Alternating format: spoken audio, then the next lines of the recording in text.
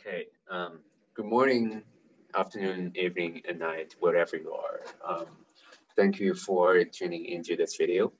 Um, my name is Ryan Shi. I am a PhD student at Carnegie Mellon University. Um, so you might wonder a bit why you don't see me in the video. And later on, you might also wonder that this current slide we have here seems to be the only slide we have throughout this video. Um, so first of all, I would like to apologize because of my recent health conditions. I am not able to work at computer screen for any prolonged uh, period of time. And so preparing a PowerPoint slides for this talk is beyond me at this point. Um, therefore, I'm doing this sort of audio only version of this talk. So, okay, so our paper is titled A Recommender System for Crowdsourcing Food Rescue Platforms.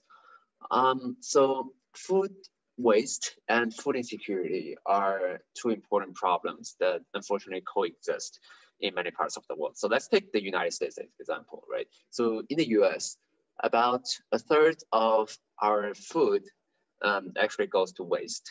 In the meantime, about one eighth of the um, total, like overall US households suffer from some sort of food insecurity at some point in the year. So this simultaneous food waste and security is very um, unfortunate. And one key type of nonprofit organizations that stood up to um, address this challenge is the food rescue organizations. So they basically serve as, as an intermediary between food donors and food recipients. Um, so um, food donors are typically grocery stores or like restaurants. They have excessive food they want to donate. So I have to uh, clarify. So these excessive food are perfectly legitimate um, un, unexpired food uh, that they just uh, want to donate. And then um, the recipient organizations. So basically the, the recipient organizations are other kinds of nonprofits that serve local um, low resource underprivileged communities. So when the donors, uh, when the donor calls the food rescue um, platform saying we have food we want to donate, then the dispatcher at the food rescue, they will contact one of the uh, recipient organization and then such the donation is matched. And when, once, so the food rescue organization, the special thing about it is that it doesn't have the human resources nor do they have the vehicles to actually transport the food. Uh, they rely on external volunteers to do the transportation. So once a do donor recipient pair is matched, the dispatcher will then post this information on a smartphone app. So all their volunteers have the smartphone app installed on their phone. So they will be able to see this information. And then if they want, they can claim it um, click on their smartphone and then go out, pick up the food, deliver it to the recipient, and that's it. That's pretty simple. Now, when I ask you, um, let's think about like what could possibly go wrong in this whole procedure. Okay, so one thing that that really um, bothers um, the dispatcher and everyone involved is that um, these volunteers, after all, they are not employees. So the food rescue organization has little to no control over these volunteers. What if some rescue stayed on the platform for several hours, approaching its deadline, but nobody wants to claim it? This is going to be very discouraging to all the parties involved. So there's a lot of uncertainty around volunteer activity. And so how can we reduce that uncertainty? How can we better engage with the volunteers um, so that more rescues will be claimed in time? Um, so that's the question that we want to study in this task. Um, so, right, I, I, mentioned earlier that the volunteers, they have the smartphone app installed. So one way that the food rescue organization is already um, engaging with the volunteers is by using um, push notifications. Um, so they're doing this and they're doing this in a way that um, already makes some sense. Um, so how they send push notifications? They, for each fixed upcoming rescue, then you will look at who are the volunteers that are within five miles distance from the donor. Now the app will then send push notifications to these volunteers, and then if they don't and if nobody claims it within a certain period of time, then it will send another wave of push notifications to everyone else. Um, now this location-based method some makes some sense, right? Like um, we obviously like maybe if you're closer to some place, then it's more likely for you to actually go there and pick up food and deliver food, right? But it's probably not the whole picture. And the reason I'm saying that is um, the hit rate of this current procedure is about 44%.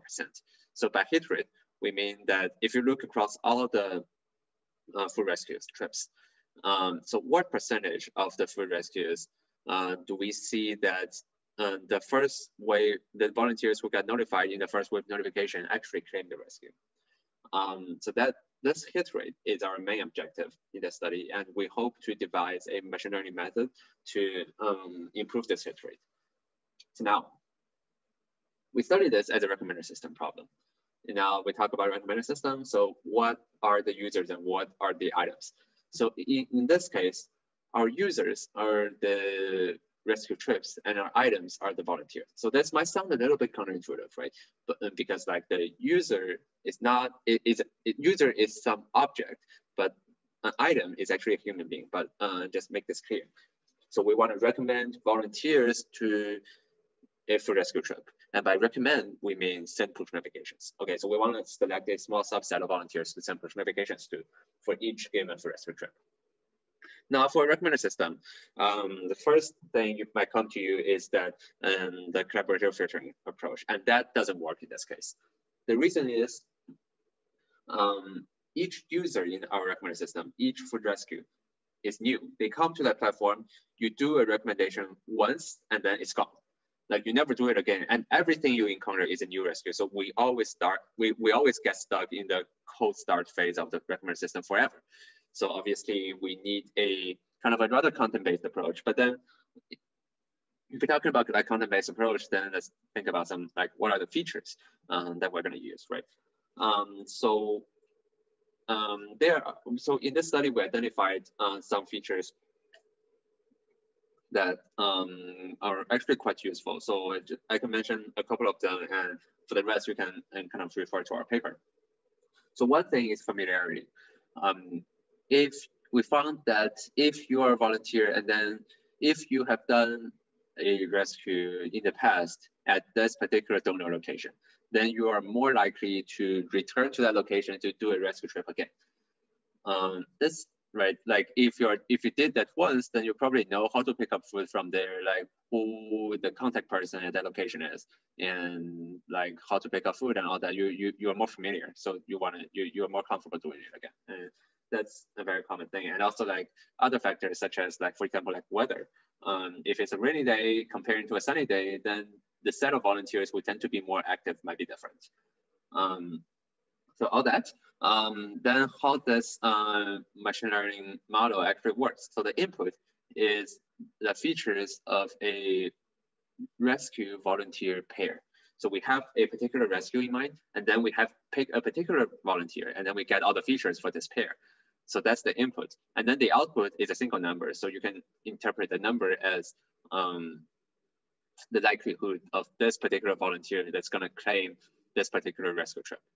Um, so when we actually do this, we for when we actually want to generate the recommended list for a particular rescue, so what we're gonna do, so we fix the rescue and then we iterate over all the volunteers in the database. Let's say we have 9,000 volunteers in the database then we're gonna uh, run this machine learning model uh, 9,000 times uh, for fix the rescue for all the volunteers. And then we get 9,000 output numbers and then we rank them from top to bottom. And then we pick the top K um, of them. And that's gonna be our recommended volunteers. Um, so in, um, so this, uh, so we tried a bunch of ML models and we settled on a neural network model, which achieved the performance which achieved a hit rate of about 73%. And note that this is much better than the current hit rate of like 44%. Uh, but uh, it's not the end of the story because like after we got this number, like this number is good, but we looked a bit deeper into um, what's really contributing to this good performance. We look at which volunteers are actually being preferred send, send push notifications. And we actually figured out that a very small subset of volunteers who tend to be the most frequent volunteers for this whole food rescue platform tend to get be identified, recognized by the machine learning algorithm so that they, these very small group of volunteers get notified for all the um, food rescues in, in the training and testing set.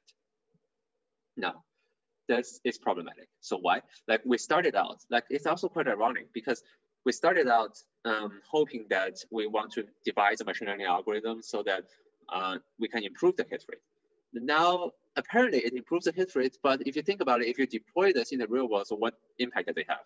Like you tend you end up always sending push notifications to a very small subset of volunteers who also tend to be the most useful volunteers for your platform. So if you are one of them, you receive 20 notifications every day. So the best thing you could do is probably you mute the notification. And the worst thing is you probably just leave the platform, you quit altogether. Now, if that really happens, then probably when you actually deploy this, the hit rate will actually go down rather than going up. So that's the ironic part. So that's um, something we have to fix. Um, so our way to fix this diversity issue is pretty simple. Like just um, um, just implement a upper bound on the number of push notifications that were um, we, we could send to every single volunteers throughout the day. Um, and but then a new problem is that uh, in contrast to the standard literature on like recommender system where the testing and training set are all fixed and offline. In our case, the testing data set is online. Like all the each food rescue uh, trip arrives in the system in an online fashion. We when we when we assign the uh, the recommendation decision for this current uh, for this current food rescue trip, we don't know what will come up next. So it's not easy to enforce that diversity like upper bound constraint. So what are we doing?